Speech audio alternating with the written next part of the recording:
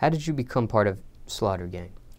I became part of Slaughter Gang on 21. You know what I'm saying? I grew a relationship with 21.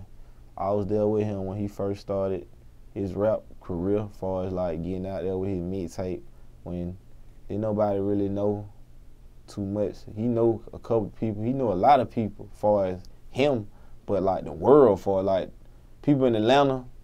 In Atlanta, it take a lot for people to grasp to your music and start fucking with you. You know what I'm saying? So like, with that whole situation with bro, like he went through a lot. The steps he had to take to get where he at, the stuff he had to do, and like when nobody there with him at the beginning, it was me. You feel me? And all this Slaughter Gang, it was us doing stuff together and making, you know what I'm saying, things happen, going to clubs and you know what I'm saying, just doing this. And that was like, that showed me like the struggle he had to go through. Like, he went through a lot. Me, I had it easy because, you know what I'm saying, I got signed to a label, you feel me? And I got situation, you know what I'm saying? So, like, my walk through the music industry was kind of easier, but it was off of him, though. Like, it all came from him. It came from me helping him, being there with him, supporting him, and saying, look, I ain't even gonna rap, bro. I'm gonna let you rap. You do your thing. When you blow, just put me on the song and you know what I'm saying? We gonna take off. And that's what happened. You know what I'm saying? Now I read a quote that you had said, America's most hated, and it was a picture of you and him together. What did you mean by that statement?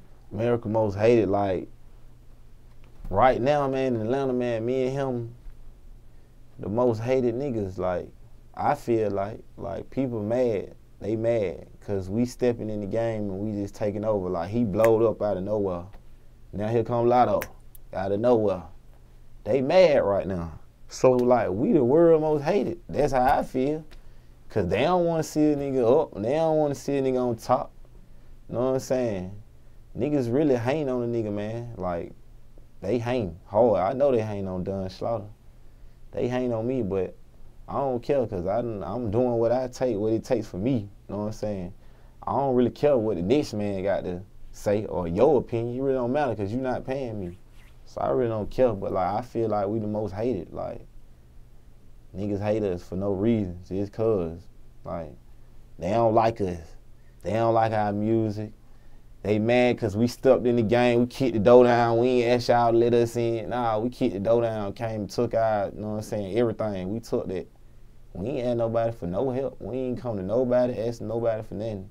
When he came in the game, he didn't have no features on his tape. Nobody but Makonnen. You feel me? He big. He had Makonnen. But guess what? He didn't ask nobody for that. He kicked the door down by himself and built his own brand.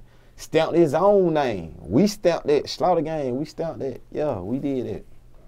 And he stamped me. And he got me to where I'm at. Now, speaking of 21, what's the biggest piece of advice he's given you? Biggest piece of advice? Or the most important thing you learned being around him? Most important thing I learned being around him. Most important thing that I learned being around him that he a genuine nigga. Like if he if he if he mess with you, he really like he mess with you, you know what I'm saying? And the most thing that he did me, he told me like for my whole situation, he the reason, cause he like, look, bro, I think you should do that. You know what I'm saying? It might work out. So he helped me. You know what I'm saying? And I feel like, like him as a person, he he a good nigga. You know what I'm saying? He came from the same type of struggle I came from. We just was on different sides of town. You know what I'm saying? He been probably been through a little bit more than me. Cause he done been shot, you know what I'm saying? But he haven't been to prison though. You know what I'm saying? I've been to prison.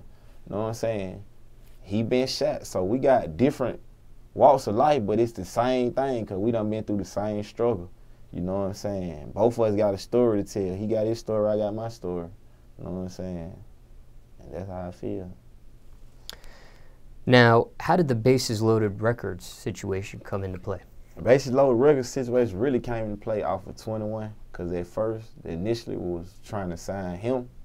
You know what I'm saying? And that didn't happen. You know what I'm saying, bro? He wanted to continue to weigh out his options like he doing, and you know he steady grasping as we go. You know what I'm saying? He doing him, so he stirred away from that situation. Uh, I got introduced to the situation really through Yakki, you know what I'm saying? One of my label mates. And the initial thing was we was taking 21 to Bases Loaded, you feel me?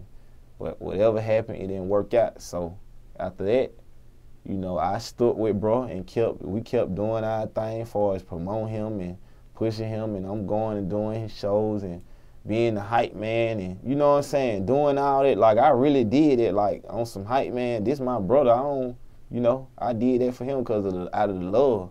Not because I'm riding his wave or trying to be on his job. It's just like, nigga, if we brothers and I, I, I, I'm telling you, like, you genuinely got uh love for me as like I got for you, then nigga, I'm gonna be there for you like you gonna be there for me. So it wasn't no big deal about me doing it. Like I liked it, you know what I'm saying? It helped me, you know what I'm saying, better myself. You know what I'm saying? So I like, you know, that situation, man, ended up turning into